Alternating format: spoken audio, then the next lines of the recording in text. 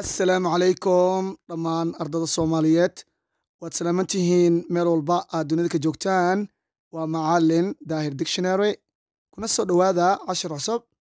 Cashirkan maanta waxaan ku baran doonnaa waa mowduuc ku saabsan faa'iidada dhegeysiga uu leeyahay. Marka arday cashirka waa muhiim dhagaha u fur. If you want haddii aad doonaysid to speak english inglishiga inaad ugu hadashid easily si fudud. You must listen. Waa inaad dhegaysataa. English inglishigu waa inaad dhegaysataa day in and day out maalin walba. Cause maxaa yeelay it is the only way waa waddada keliya ama habka keliya you can improve.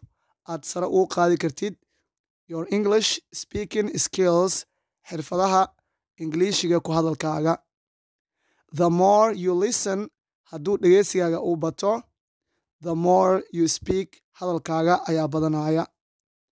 If you don't listen haddii aadan dhegeysanin there is no way ma jirto waddo ama hab of speaking english aad ingiliishigu hadli karto even if xitaa haddii you finish aad dhammaysid all the english books dhammaan buwaagta ingiliishiga o dhan.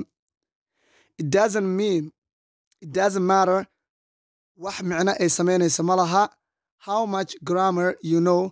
Inta grammar aad taqaano micno ma samaynayso cause maxaa yeelay when you were a child canug markaad ahayd carruur markaad ahayd you did waxaad samayn jirtay more listening. Dhegeysi badan ayaa samayn jirtay before you spoke right? Intaadan hadal bilaabin ka hor waxaad samayn jirtay hadal badan ayaa samayn jirtay. So that indicates taas waxay muujinaysaa that indicates to you taa waxay ku muujinaysaa listening is very important. In dhegeysigu inuu aad iyo aad u wanaagsan yahay.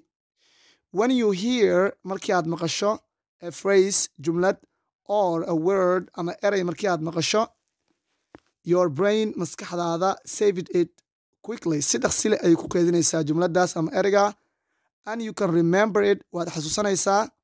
When you speak markii aad hadlaysona waad xasuusanaysaa people dadka speak english. Inglishiga waxay ugu hadlaan in different ways habab kala duwan ay ugu hadlaan.